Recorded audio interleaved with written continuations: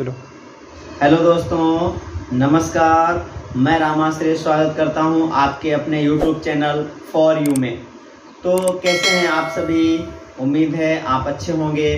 तो आज हम सभी बात करेंगे वज्रासन के बारे में। तो वज्रासन कैसे किया जाता है?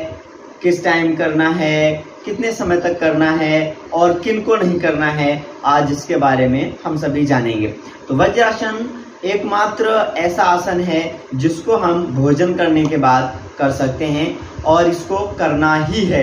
जिन्हें पेट संबंधी बीमारियाँ रहती हैं, गैस है, अपच है, भोजन पचता नहीं है तो इन सभी पेट संबंधी रोगों के लिए बहुत ही उत्तम अभ्यास है वज्रासन।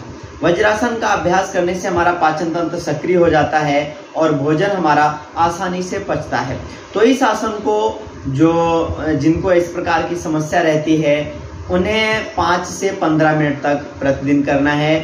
स्वस्थ व्यक्ति अपना दैनिक योग में इसे एक से तीन मिनट तक करेंगे। तो इस आसन का अभ्यास करने के लिए हम इस समय बैठे हुए हैं सुखासन में। और अब हमें दोनों पैरों को खोलना है। इस प्रकार से और एक पैर को मोड़ना है, यानी दाहिने पैर को हम मोड़ रहे हैं और एड़ियाँ हमारी बाहर की ओर हैं। फिर हमने बाएँ पैर को मोड़ा और एड़ियाँ हमारी बाहर की ओर रहेंगी। अंगूठे हमारे आपस में मिले होंगे। और इस प्रकार से हमें बैठ जाना है। इस आसन का नाम है वज्रासन। तो मित्रों, जिनके घुटनों में दर्द रहता है, वह लोग इस वज्रासन का अभ्यास नहीं करेंगे। यह एक बहुत ही उत्तम, ध्यानात्मक आसन है और इसे आप प्रतिदिन करें, जिससे आपके पेट संबंधी रोग आपसे दूर रहेंगे। तो आपको धन्यवाद।